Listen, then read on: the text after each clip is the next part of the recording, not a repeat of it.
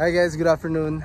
So, nandito tayo ngayon sa Sun TV sa San Pablo City, Laguna. I'd like to give update, latest update lang sa uh, construction natin dito. No? So, today is August 21 ba? 20, August 20, 2022. So, yung may pintura na, that's our model unit. Yung mga nakita yung model unit before, no? during nag-reserve kayo.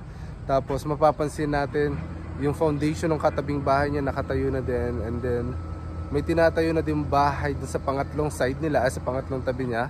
So ini-start na din ilagay yung foundation niya. So So yan, yung nasa likod ko, yan yung pangatlong bahay from our model unit. Ito model unit natin.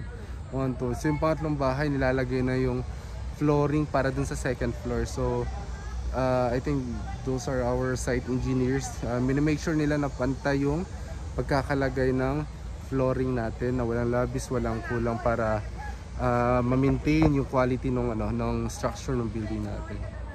So ayan po.